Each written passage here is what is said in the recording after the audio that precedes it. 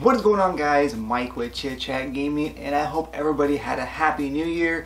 It is officially 2021. The crappy year that was 2020 is now behind us. So now the best thing to do is move forward into a brand new year guys and I'm excited for that. Like I mentioned, lots of things coming up on my YouTube channel so make sure you guys stick around. Today what I want to talk about though is January of 2017.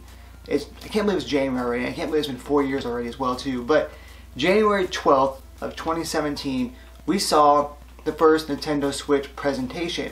Now during this presentation, you know, they showed the, the price of the Switch, they, you know, introduced the, uh, the Joy-Con, they introduced the, uh, the release date of the Switch, which we're all taken back by. You know, so many trailers as well too. Mario Odyssey, Splatoon 2, uh, the Breath of the Wild trailer with the release date on launch and everything. And I still watched that Nintendo Switch presentation. I actually watched it a couple days ago here. I usually watch reactions like of Easy Allies, uh, you know, kind of funny, and just everybody in the Nintendo store in New York. But I also watched the presentation itself too because I was so hyped for that night. And I had so much fun watching that with my kids.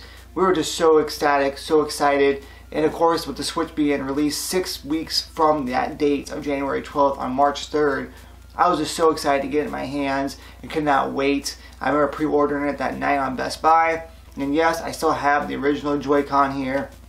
So these are the original neon, uh, neon red, neon blue Joy-Con. I have not changed them. I am looking to get new Joy-Con this weekend. Hopefully if the snow goes away and allows me to be able to go somewhere.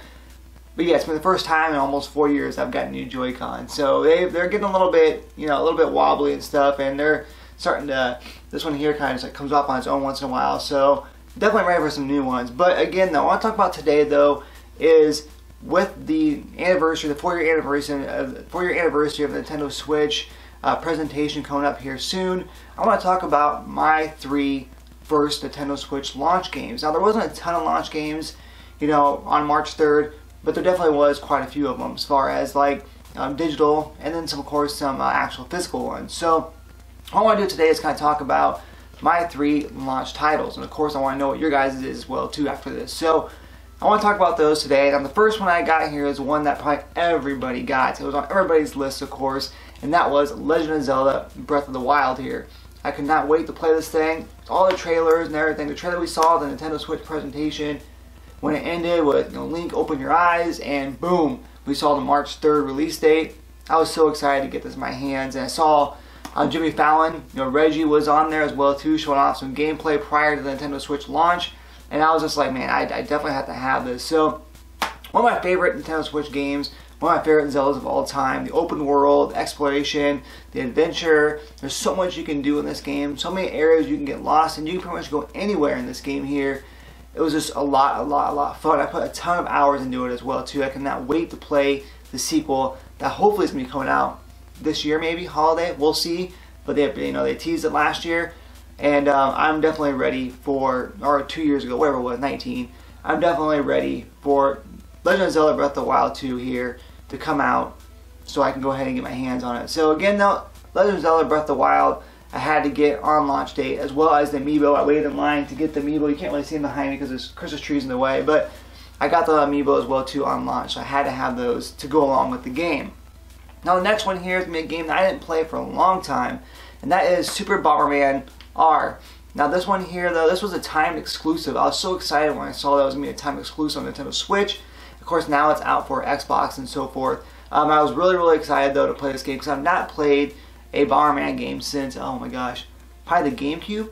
So ever since then though I have not touched a Bomberman game. And I saw this and I was just like, holy crap, and this is like nostalgic. We're getting a Bomberman game at launch on Nintendo Switch and I had to have it. And this is actually becoming very very rare to find uh, the physical version of the game itself. It's hard to get now. For a while there, was on sale and stuff and everything, but again though, a lot of fun. The uh, the multiplayer has died down some. I, I, did try to get into a game a couple nights ago. I did find a game um, against one other person, but it is kind of getting a little bit slim pickings on the uh, on the multiplayer. But the single player campaign mode, story mode, is a lot of fun where it's you versus the AI.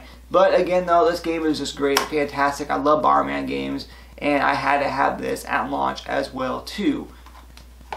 Now, another game that I had here, it's not going to be a physical game.